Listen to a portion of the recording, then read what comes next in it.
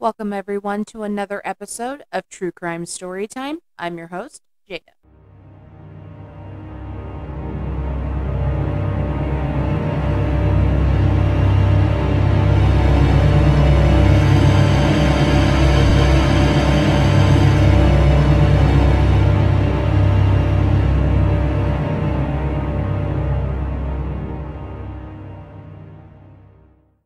So, I want to start off by saying thank you to everyone who's joining in on these podcasts with me.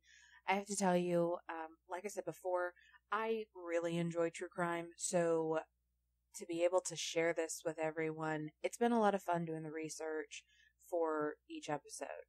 Today, we're going to be looking at the murder of 17 year old Michelle Yvette Missy Avila. On February 8, 1968, Missy grew up in Arleta, California, around the Los Angeles area in the San Fernando Valley. Around the age of eight, Missy and Karen Severson became neighbors and very close friends. The girls also became close friends with another girl who lived around the block from them, Laura Doyle.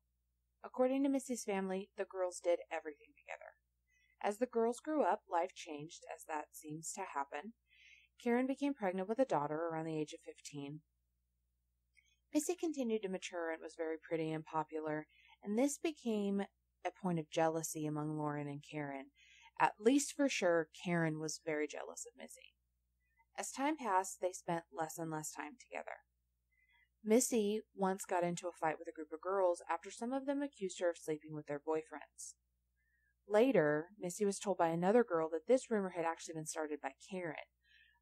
And this upset Missy very deeply because she still considered Karen a friend and didn't think she would say anything like that about her. During her junior year in high school, Missy began dating a boy. After about a month, she broke off their relationship. Shortly after their breakup, Karen began seeing the same boy and they moved into an apartment together.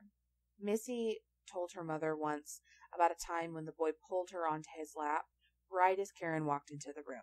Missy had no intention of getting back together with him, and she had told him that she had no intention of getting back together with him. And according to Irene, Missy's mom, Missy had even told Karen she thought that they should that Karen should break up with him. And this didn't help the situation between Missy and Karen. Uh, Karen was already jealous. Now Karen thought that the boy that she liked wanted Missy and not her. So this just, you know, kind of added fuel to the fire. Uh, not long after that incident, Karen and Missy just pretty much fell out completely. Shortly before her death, Karen and Missy had actually gotten into a fight at a neighborhood park, and according to witnesses, Karen had pushed and slapped Missy and had even threatened her with a beer bottle. On October 2nd, 1985, Missy told her mom she was going to be going out with Laura. Her mother recalled the girls were laughing and talking about boys as they left, Missy was expected to return home that night. A few hours after the girls had left, Lauren called asking to speak to Missy. Concerned, Irene told her that she thought that they were together. Laura then told Irene that they had been, but she had left Missy talking with three boys in a blue Camaro while she had gone to get gas, and when she returned the car, the boys and Missy were all gone. Concerned, Irene called the police and reported her daughter missing. Three days after her daughter failed to return home, Hikers found her body in a creek in Angeles National Forest, around 30 miles from her home. Her hair had been cut off in chunks, her face and shoulders were bruised, and her body had been pinned down in the water by a large log on her neck. At this point, the police now turned their investigation from a missing persons case into a homicide case uh, and began going off of the lead that Laura had left Missy with three boys in a blue Camaro. Um, they did a lot of tracking and looking for the boys in the blue Camaro, but eventually came up empty handed. A while went by and Laura changed her story. She told Irene that there was never a blue Camaro or three boys, and that she had actually dropped Missy off near an LA church to meet up with a drug dealer and deliver money. So, with this change in story, now the police obviously switched their investigation from the fictional boys in the blue Camaro to now they're looking for this drug dealer and this church where Laura says she dropped her off. Well, still the case remained stagnant and it eventually went cold.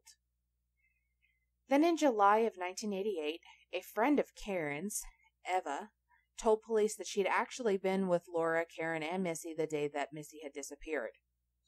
Uh, I guess Laura had picked up Missy, and then Karen and Eva were following, unbeknownst to Missy, in another car, following Laura, uh, following Laura and Missy.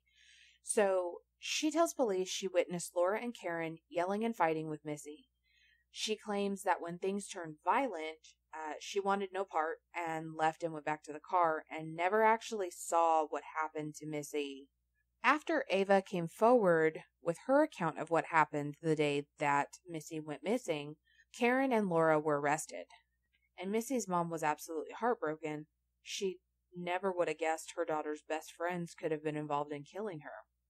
In fact, her daughter seemed hopeful that like they were going to be rekindling their friendship um, that had kind of, you know, fluttered out. Even the police didn't suspect Karen. According to the LA Deputy Sheriff Bill Patterson, who was quoted, we talked to Karen several times during the investigation, and not once, I mean, not once, did we suspect she was in on the murder. Karen had actually become very close to the family again after Missy's death. She moved into Irene's house with her daughter for a few months, though she does deny this. Um, she says that this was something cooked up by the prosecution, that she never actually lived there with her daughter, um, but that she, you know, did spend a lot of time with the family after. She uh, was said to go and spend lots of times, uh, lots of time at Missy's grave and mourn for her very deeply. And there were even reports that after Missy's death, Karen seemed to be haunted by her former best friend um, and claimed to see apparitions and visions of her. In later interviews, Karen stated the reason that she became so involved with the family after Missy's death was out of obligation. She wanted to console the family for the part that she played in Missy's murder. Um, but she also said she wanted to know like how the police investigation was going, who was suspected, and what evidence they found.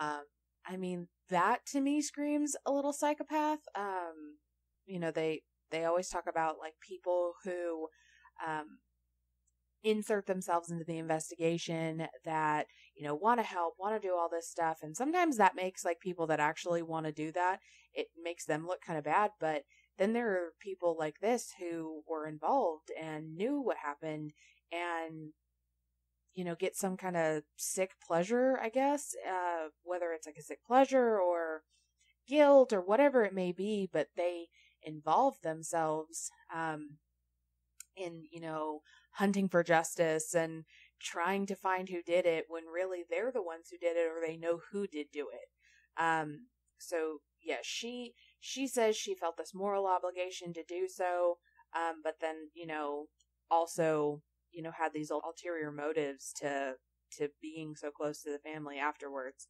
So when the girls were brought to trial, they actually wound up pleading not guilty to first degree murder, uh, the prosecution was going for first degree um, because, according to them, they they felt this whole thing was planned. They planned to lure Missy out there, and uh, they planned to kill her. Um, Eva did testify at the pretrial hearing uh, about what she had witnessed that day, though she was never charged in connection with the crime. Both Laura and Karen were convicted of second degree murder, despite the prosecution trying for first degree and this was due to several members of the jury just not being convinced that the murder had been planned. In March of 1990, both women were sentenced to 15 years to life in state prison, and at the time they were 22 years old. Two years after the murder, in prison, Karen admitted she was ashamed of what she had done, but insisted that she only meant to torment Missy, not kill her. She said, Looking back, I was jealous of her. She also had said from jail I know the details of what happened to Missy. Missy wasn't as innocent as everyone thinks. When she moved in on my territory, meaning the boy she liked, I just couldn't take it anymore. But no matter what, I couldn't kill her. According to Karen, the three girls were going to confront Missy about the fact that they believed she had been sleeping with their boyfriends. An altercation ensued and things got physical. Missy's hair was cut by Laura and herself, which she thoroughly admits to. Um, she, according to her, Missy was very proud of her looks, and they thought that that would be a good way to get back at her. She says that she turned to leave with Ava back to the car, and she heard Laura and Missy continuing to argue. One thing led to another. Uh, Laura was standing in the water, egging Missy on, and Karen wound up pushing Missy right into Laura's waiting hands. She claims she watched Laura push Missy into the water, but did not actually kill Missy herself. She also claims she was high on drugs and alcohol at the time. In December of 2011, at the age of 45, after serving 23 and a half years, Karen was released from prison. Since her release, she's written a book detailing the crime and what happened that day, and has called herself on more than one occasion, uh, on more than one occasion, in more than one interview, uh, a bully. So she now uh, does talks about anti-bullying, and in an interview, she did state she was going to donate some of the pros- proceeds from her book to an anti-bullying campaign. Missy's family became outraged when they found out about the book and that she was going to be profiting off the loss of Missy. They filed a wrongful death lawsuit against Karen and began pursuing legislation in the state assembly that was eventually called Missy's Law.